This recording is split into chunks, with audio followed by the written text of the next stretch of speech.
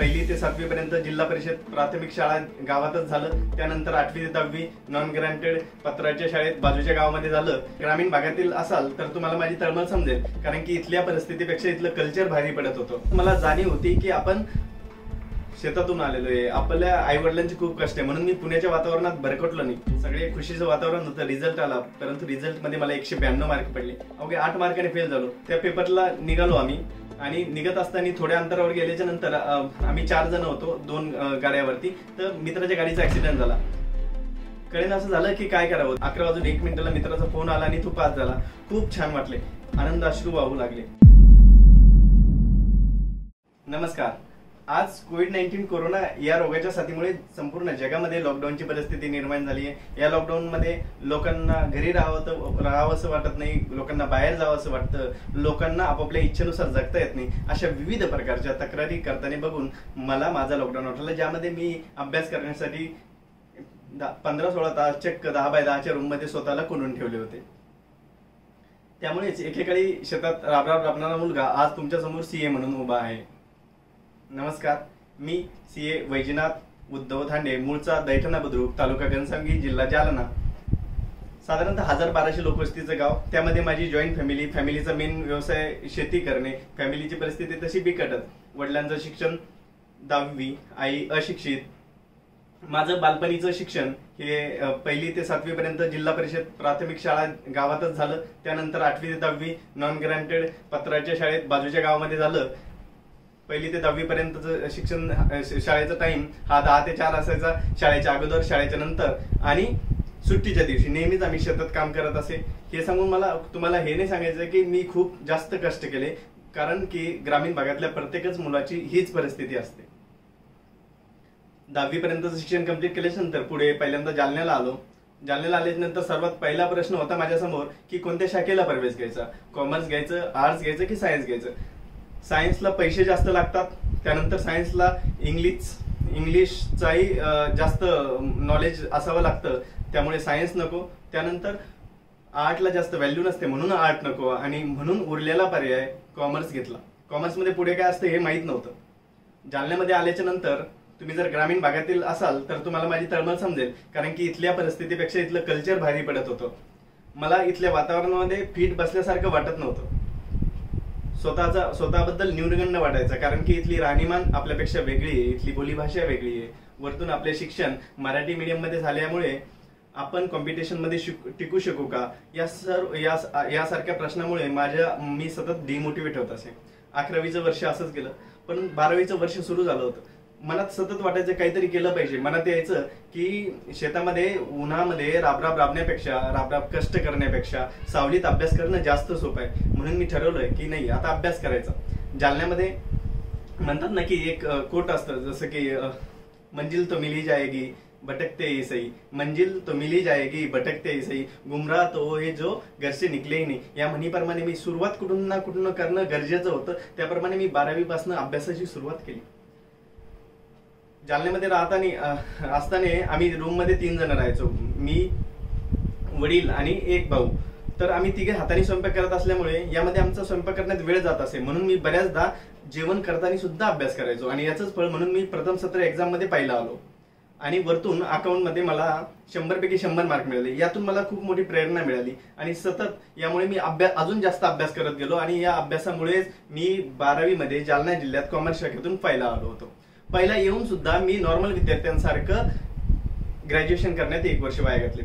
कारण की मला मार्गदर्शन नव्हतं. या मार्गदर्शनामुळे माझं एक वर्ष वाया गेले. कळत नव्हतं पुढे काय करायचं. फक्त काहीतरी चांगलं करायचं एवढं कळत होतं. बऱ्याचदा लोक म्हणायचे की सीए कॉमर्समध्ये सगळ्यात चांगला कोर्स आहे. मलाही वाटायचं सीए केलं पाहिजे पण मध्येच कुणीतरी सांगायचं की तुला जमणार नाही. आणि मनात यायचं की आपल्याला का नाही जमणार? आणि मनात वाटायचं की लोक म्हणतात ना हे जे तुला जमणार नाही तेच गोष्टी करण्यात जास्त मजा असते. म्हणून मी ठरवलं की कर आहे कुछ ऐसा की दुनिया करना चाहे आपके जैसा. आणि या म्हणीप्रमाणेच मी ठरवलं की आता करायचं तर सीए करायचं. घरी रिक्वेस्ट केली घरचीही तयार झाली. सीए करण्यासाठी औरंगाबादला गेलो तिथेच क्लास लावले रूम मेस तिथेच लावली. आम्ही थोडेसे पैसे वाचवण्यासाठी तीन जणांच्या रूममध्ये पाच जण राहायचो. दोन जणांच्या तीन जण चार जणांच्या टिफिनमध्ये पाच जण खायचो. यामुळे थोडेसे पैशाची बचत होत असे. हे करत असताना आम्ही सकाळी सी सीपीटीला पाच वाजता उठायचो. हिवाळ्याचे दिवस होते थंड पाण्याने आंघोळ करायचो. दिवसभर लायब्ररीत बसायचो. दुपारचा संध्याकाळचा टिफिनही लायब्ररीत खायचो. रात्रीच्या दहा अकराला घरी यायचो. घरी या या रुटीनमुळे मी सीपीटी देखील पहिल्याच प्रयत्नामध्ये पास झालो. त्यानंतर वेळ आली आता ती आयपीसीसीची आयपीसीसीच्या क्लाससाठी पुण्याला गेलो. पुण्याला गेल्याच्यानंतर तिथनं क्लास कंप्लीट कंप्लीट करत असताना क्लासेस करत असताना रेग्युलर क्लास करायचो आणि क्लासचा होमवर्क रेग्युलर करायचो. सतत मला जाणीव होती की आपण शेतातून आलेलो आहे. आपल्या आई वडिलांची खूप कष्ट आहे. म्हणून मी पुण्याच्या वातावरणात भरकटलो नाही. आणि तिथे गेल्याच नंतर याचाच फळ म्हणून मला पुण्याच्या एका क्लासमध्ये एका विषयामध्ये विषयाची टेस्ट झाली आणि त्यामध्ये मला पन्नास पैकी पन्नास मार्क पडले. त्या क्लासमध्ये तीनशे विद्यार्थी होते. ही मोठी गोष्ट नव्हती पण तीनशे विद्यार्थी हे भारतातल्या कानेकोपऱ्यामध्ये आणि या मुलांमध्ये देखील आपण काहीतरी करू शकतो. मनाला याची प्रेरणा मिळाली. म्हणून मी खूप छान पद्धतीने अभ्यास करू लागलो. क्लासेस कंप्लीट केले. औरंगाबादला आलो एक्झाम दिली आणि आय पी सी सी देखील पहिल्याच प्रयत्नामध्ये पास झालो. त्यानंतर आता वेळ आली ती आर्टिकलशिपची आर्टिकलशिपमध्ये मी औरंगाबादमध्ये जॉईन केले. आर्टिकलशिपमध्ये देखील मी खूप छान पद्धतीने कामं केले बरेचसे कामं लीड केले. त्यामुळे आज मला ऑफिसमध्ये देखील याचा खूप फायदा होतो. फायनलचे क्लास कंप्लीट करून औरंगाबादला आल्याच्यानंतर प्रायव्हेट लायब्ररी जॉईन केली होती. त्या लायब्ररीचा टाइम दहा वाजेपर्यंत असतच अवघ्या एक महिना एक्झामला बाकी राहिल्याच्यानंतर मी आणि माझा मित्र अजिंक्य आम्हाला वाटले की अजून दहाच्या नंतर दुसरी एखादी रिडिंग रूम बघावी. म्हणून आम्ही त्या रिडिंग रूम बघण्यासाठी निघालो. आणि निघताना आमचा ऍक्सिडेंट झाला. त्याच्या पायामध्ये रॉड टाकला आणि त्यामध्ये आमचे आठ दहा दिवस वाया गेले. आम्ही ती एक्झाम दिली. त्या अटेम्पमध्ये रिझल्ट निगेटिव्ह आला. पण समाधान याचं होतं की सगळ्या विषयामध्ये पास होतो. ऍग्रिगेट आलं नाही.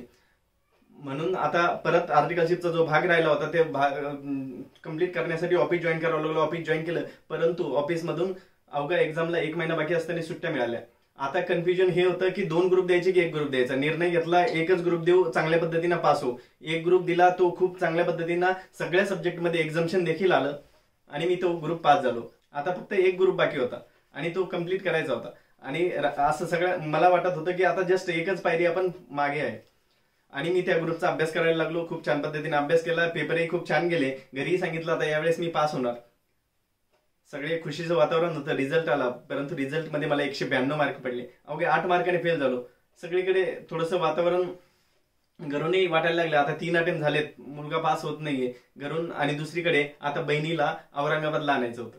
पुढील शिक्षणासाठी तिला औरंगाबादला आणणं गरजेचं होतं. आणि तिचा खर्च माझा खर्च हे करण्यासाठी घरच्यांना वाटू लागलं की आता तूही थोडे आर्थिक मदत करायला हवी. म्हणून मी अकरावी बारावीचे इंग्लिश मिडियमचे क्लासेस घेण्यास सुरुवात केली. हे करत असताना दुसरीकडे मला चौथ्यांदा एक्झामलाही एक्झामलाही सामोरे जायचं होतं. त्यानंतर एक्झामला सामोरं मी जात होतो. एक्झामचा खूप छान पद्धतीने अभ्यास करू लागलो. हे सग क्लासेसही घेऊ लागलो. यामधून मी एक्झाम दिली. एक्झाम दिल्याच्या नंतर माझा रिझल्ट आला आणि रिझल्टमध्ये मला दोनशे नऊ मार्क आले. एकेकाळी वाटलं होतं आपण पास झालो. परंतु रिझल्ट व्यवस्थित बघितल्याच्या नंतर लक्षात आले की एका सब्जेक्टमध्ये एकोणचाळीस मार्क लाग मार्क पडले. पासिंगला चाळीस लागत होते. फक्त एका मार्काने फेल झालो. नऊ मार्क शिल्लक येऊन सुद्धा फेल होणारा मी पहिला विद्यार्थी होतो. अवघ्या एक मार्काने फेल झाल्याच्यानंतर खूप वाईट वाटलं. अश्रू कोसळले. लोकही नाव ठेवू लागले होते. आता काय करावं कळत नव्हतं. पण मनाला मी नेहमी सांगायचो की you never lose until you quit मी या म्हणीप्रमाणे मी सतत अभ्यास करायचा आणि मी परत पाचव्यांदा परीक्षेच्या तयारीला लागलो. ज्या पेपरमध्ये फेल झालो होतो त्या पेपरवरती विशेष लक्ष केंद्रित केले. आणि अभ्यास करताना मी सतत म्हणजे पहिल्यापासनं योगा मेडिटेशन करत असायचो. यामुळे मला खूप स्टेबल व्हायला म्हणजे वेळ लागायचा नाही. आणि मी लवकर स्टेबल होऊन परत अभ्यासाला लागलो. जो म्हणे अभ्यास करत होतो. शेवटचा एक महिना तर अक्षरशः मी रूमच्या बाहेरही गेलो नाही. आमचा टिफिनही रूममध्येच यायचा आता वेळ आली होती त्या ज्या पेपरमध्ये फेल झालो होतो त्या पेपरचा दिवस. त्या पेपरला निघालो आम्ही. आणि निघत असताना थोड्या अंतरावर गेल्याच्यानंतर आम्ही चार जण होतो दोन गाड्यावरती. तर मित्राच्या गाडीचा ऍक्सिडेंट झाला. कळेन असं झालं की काय करावं? त्या एकाच्या हाताला रक्त वाहू लागलं होतं. बरंचसं लागलेलं देखील होतं. एक्झामला जायला उशीर होत होता.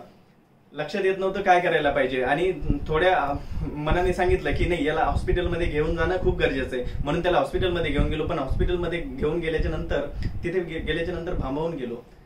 कारण की तिथे गर्दी खूप होती. डॉक्टरांना रिक्वेस्ट केली. डॉक्टरांनाही आमची रिक्वेस्ट मान्य केली आणि त्याच्या हाताला पट्टी करून आम्ही त्याला घेऊन परीक्षेला गेलो. पण परीक्षेला जाताना सेंटरला जाईपर्यंत वीस मिनिटं उशीर झालेला होता.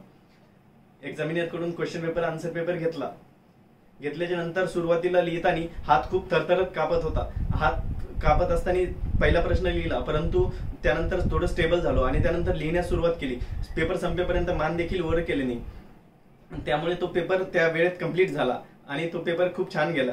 त्यानंतरची एक्झामही दिली आता रिझल्टचा दिवस येऊ लागला. पण यावेळेस मी कुणालाही सांगितलं नाही पास होणार आहे की फेल होणार आहे. मी माझं काम करत राहिलो. त्यानंतर आता रिझल्टचा दिवस आला. रिझल्टच्या रात्री इथं झोप आली नाही. सकाळी आंघोळ लवकर केली आणि त्यानंतर रिझल्टची वाट बघत होता. अकरा वाजता रिझल्ट होता. अकरा वाजून एक मिनिटाला मित्राचा फोन आला आणि तू पास झाला. खूप छान वाटले. आनंद अश्रू वाहू लागले. सगळ्यांचे फोन आले. घरीही फोन केला. घरचेही खूप खुश झाले. मित्रांनो टॅलेंट प्रत्येकामध्येच असते. पण ते टॅलेंट समाजापुढे आणणे ही आपली जबाबदारी. बारावी असो की सी ए फायनलचे पाच अटेम्प असो यामध्ये मी स्वतःला बांधले नसते. स्वतःचं स्वतःला डिसिप्लिन देऊन स्वतःचे आयुष्य घडवले नसते तर आज आयुष्य वेगळे असते. नशिबाला कोसत बसला असतो तर आज मी तेच करत असतो जे हजारो मुलं आज करतात. स्वतःला डिसिप्लिन देणे तेव्हाच सोपे होते जेव्हा आपल्याकडे एक ध्येय असते एक गोल असते आणि त्या ध्येयाकडे आपण वाटचाल करतो आणि ते ध्येय मिळवण्यासाठी आपण काहीही करण्यास उत्सुक असतो. मित्रांनो तुमच्या ह्याच जोशाला आपल्याला जागा करायचं आहे.